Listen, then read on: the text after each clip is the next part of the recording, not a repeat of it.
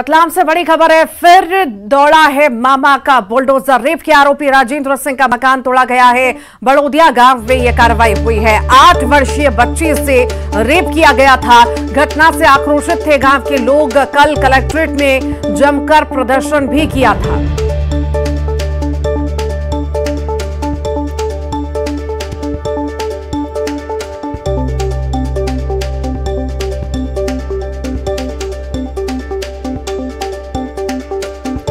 फिर से मामा का बुलडोजर दौड़ा है। ये तस्वीरें आप देख रहे हैं। रेप के आरोपी राजेंद्र सिंह का मकान तोड़ा गया है। बड़ोदिया गाँव में ये कार्रवाई देखने को मिली है, जहाँ पर फिर से मामा का बुलडोजर चला। आठ वर्षीय बच्ची से रेप किया गया था और उसी मामले में ये बड़ी कार्रवाई देखने को मिली है।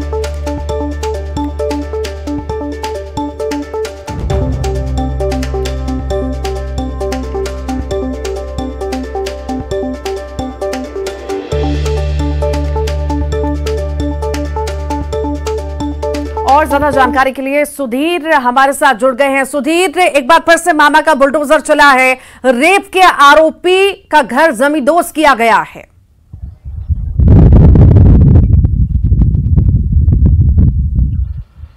जी, बिल्कुल, रविवार का ये पूरा मामला था। जब आरोपी है राजेंद्र सिंह, उसने गाँव की एक बच्ची है आठ वर्षीय, जिसे जो घर के बाहर सो रही थी अपनी नानी के पास, उसे ले जाकर जो है उसे रात में ही वो ले गया था पीछे खेत में और उसके साथ में कुकृत्य किया था, जिसके बाद अब जो है उसके तत्काल बाद ही इस आरोपी को गिरफ़्तार कर लिया था पुलिस ने। लेकिन अब जो है आरोपी के घर पर बुलडोजर चलाने की मांग को लेकर ग्रामीण कल आक्रोशित हो गए थे और करीब पाँच घंटे तक के इन ग्रामीणों ने कलेक्ट्रेट में ही धरना दिया था और जिला प्रशासन के आला अधिकारियों ने आश्वासन दिया था कि वे ज़रूर बड़ी कार्रवाई करेंगे जो कि नजीर बन जाए और ऐसा ही आज एक बार फिर रतलाम के बड़ौदिया गाँव में सुबह देखने को मिला जब सात बजे ही रतलाम ग्रामीण जो एसडीएम है त्रिलोचन सिंह गौड़ अपने पूरे दलबल के साथ मौके पर पहुँचे थे और जो आरोपी है राजेंद्र सिंह, उसके जो एक मकान है खेत में बना हुआ था, जहाँ वो रहता था, उसे जमींदोज किया है। कुल मिलाकर मैसेज यही देने की कोशिश की है कि आरोपी कोई भी हो, उसे बख्शा नहीं जाएगा, क्योंकि कल इस पूरे मामले में बड़ी राजनीति देखने को मिली थी। करीब जो समाजजन है, वो बड़ी संख्या में रतलाम कलेक्ट्रेट में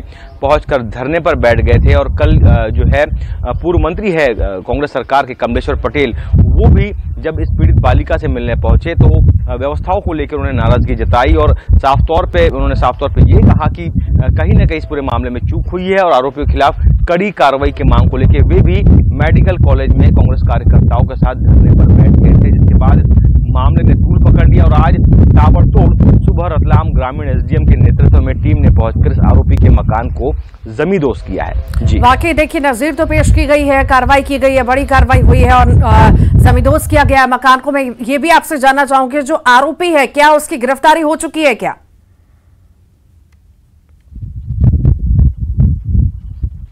देखिए आरोपी घटना के दो घंटे बाद ही पकड़ा गया था रविवार रात का यह पूरा मामला था। बच्ची अपनी नानी के साथ घर के बाहर सो रही थी और इसी बच्ची को ये आरोपी है, राजेंद्र सिंह, वो उठाकर पीछे खेत में ले गया था। क्योंकि जैसे ही बच्ची अपने घर पहुँची बदहवास हालत में, उसके बाद तत्काल ही उसे रतलाम के एमसीएच यूनिट में भर्ती करवाया गया था और बच्ची की निशानदेही पर ही जो आरोपी है, राजेंद्र सिंह, उसे पुलिस ने दो घंटे में ही राउंड अप कर लिया था। तो पुलिस की सजगता भी यहाँ पर देखने को मिली है कहीं ना कहीं लेकिन आरोपी जो पीड़ित पक्ष है वो इस बात से नाराज़ भी ज़रूर थे कि अब तक के जो आरोपी है उसके घर के ऊपर बुलडोजर नहीं ठीक। चला है क्योंकि कई बार देखने में आता है कि छोटे छोटे मामलों में भी प्रशासन तत्काल बुलडोजर चला जाता है तो इसी बात की नाराज़गी थी जो कल देखने को मिली। ठीक बहुत बहुत शुक्रिया सुधीर। बिलासपुर से बड़ी खबर की बात करेंगे। बुधवारी बाज़ार की सब्ज़ी मंडी में आग लगी भीषण आग की तस्वीर